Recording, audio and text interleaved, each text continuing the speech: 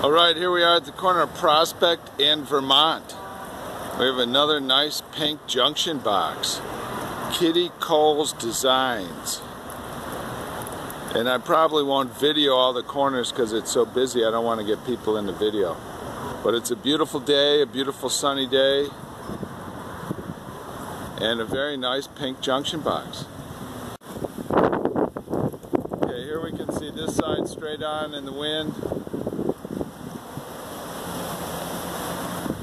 Very striking and very well done Kitty Cole designs. All right, we're getting blown away.